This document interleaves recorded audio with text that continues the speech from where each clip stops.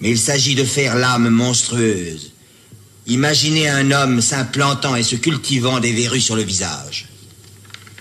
Je dis qu'il faut être voyant, se faire voyant. Le poète se fait voyant par un long, immense et raisonné dérèglement de tous les sens. Toutes les formes d'amour, de souffrance, de folie. Il cherche lui-même, il épuise en lui tous les poisons pour n'en garder que les quintessences. Ineffable torture où il a besoin de toute la foi, de toute la force surhumaine, où il devient entre tous le grand malade, le grand criminel, le grand maudit et le suprême savant. Car il arrive à l'inconnu, puisqu'il a cultivé son âme, déjà riche plus qu'aucun. Il arrive à l'inconnu, et quand affolé, il finirait par perdre l'intelligence de ses visions. Il les a vues. Je reprends. Donc, le poète est vraiment voleur de feu. Il est chargé de l'humanité, des animaux même. Il devra faire sentir, palper, écouter ses inventions.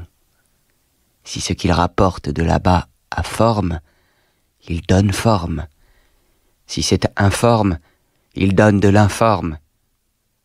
Trouver une langue.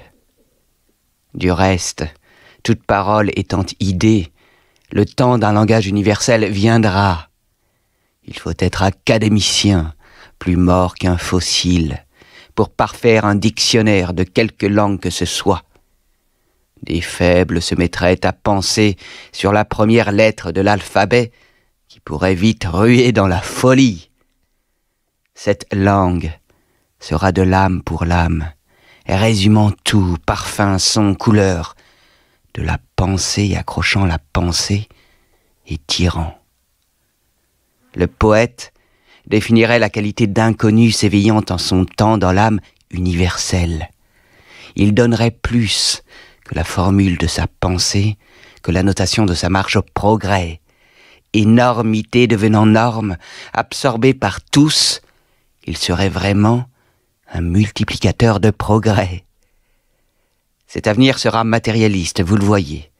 Toujours plein du nombre et de l'harmonie, ces poèmes seront faits pour rester. Au fond, ce serait encore un peu la poésie grecque. L'art éternel aurait ses fonctions, comme les poètes sont citoyens. La poésie ne rythmera plus l'action, elle sera en avant. Ces poètes seront, quand sera brisé l'infini servage de la femme, quand elle vivra pour elle et par elle, l'homme, jusqu'ici abominable, lui ayant donné son renvoi, elle sera poète elle aussi. La femme trouvera de l'inconnu. Ces mondes d'idées différeront-ils des nôtres? Elle trouvera des choses étranges, insondables, repoussantes, délicieuses. Nous les prendrons, nous les comprendrons. En attendant, demandons aux poètes du nouveau, idées et formes. Tous les habiles croiraient bientôt avoir satisfait à cette demande. Ce n'est pas cela.